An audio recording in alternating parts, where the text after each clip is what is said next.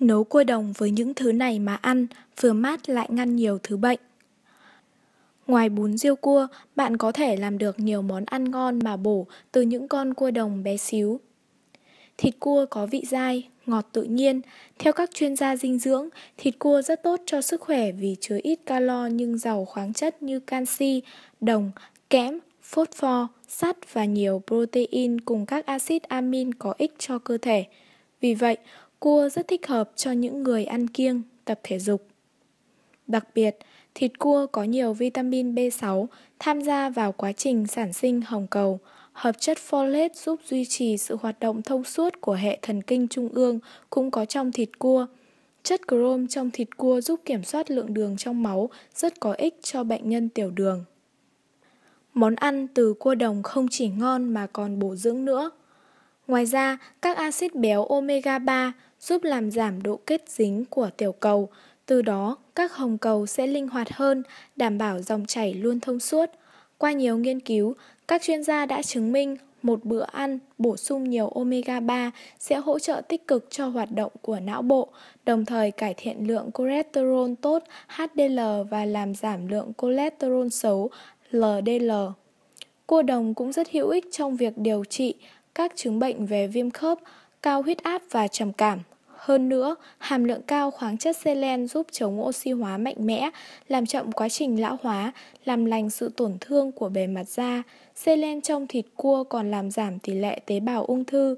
Nghiên cứu của các nhà khoa học Hoa Kỳ tiến hành tại các vùng khác nhau cho thấy số lượng người tử vong do ung thư đại tràng và ung thư vú tỷ lệ nghịch với hàm lượng selen có trong khẩu phần ăn.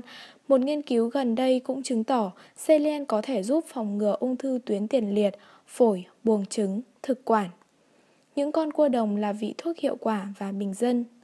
Các bài thuốc với cua đồng Giải nhiệt mùa hè, trị lở ngứa Cua đồng 200g bỏ yếm, mai, rửa sạch, giã nát, lọc lấy nước Mướp hương 1 đến 2 trái cạo vỏ, rửa sạch, cắt miếng Rau đay và mồng tơi tươi mỗi thứ 100g rửa sạch, cắt đoạn, đun sôi nước cua và cho các loại rau vào đến khi mướp chín là được. Món này dùng ăn như canh rất mát và thanh. Món canh cua đồng, mướp hương rất tốt để giải nguyệt và trị viêm ngứa. Trị viêm thận cấp, cua đồng 250g bỏ yếm, mai, rửa sạch, giã nát, lọc lấy nước, vỏ cây dâu tằm 50g rửa sạch, cắt đoạn, đem tất cả nấu thành canh, uống nước. Đau răng, đau lợi, nhiệt miệng, cua đồng nấu với khổ qua thay canh, ăn hàng ngày hoặc dùng bài thuốc hoàng cầm 10g, chi tử 10g, hoài sơn 16g, liên nhục 12g, đinh lăng 16g, bồ công anh 16g, chân cua đồng, sao vàng 20g, cam thảo 10g, bạch nhược 12g, bạch mau căn 16g, khổ qua 16g, sắc uống ngày một thang chia 2 đến 3 lần. Có thể nấu cua và khổ qua để cho ra một hương vị mới lạ. Chữa vết thương xương viêm, lở loét, cua đồng hai con giã nát, rượu một bát, cho vào nồi đun sôi, gạn lấy nước uống, bã đắp vào chỗ đau.